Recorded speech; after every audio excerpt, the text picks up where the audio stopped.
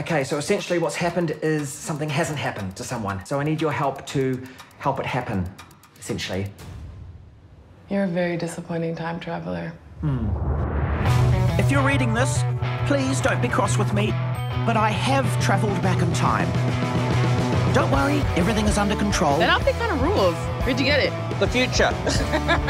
Despite one or two complications, Is the plan? I don't know what you mean!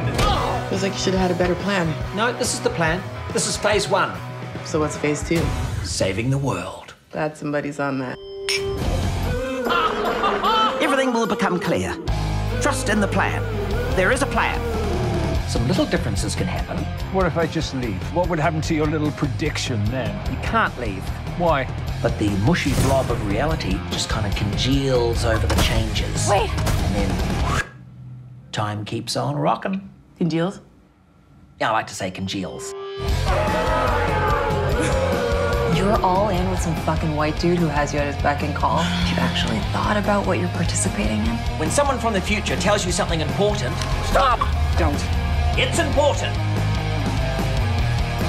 I'm an idiot! What if I was to tell you that everything does work out? Prove it. Three,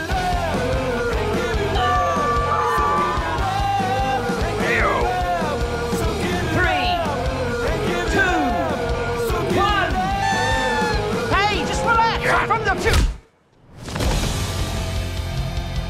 Is it like with every small decision you create a whole new reality, like a, a multiverse with an infinite number of timelines? No, that's ridiculous.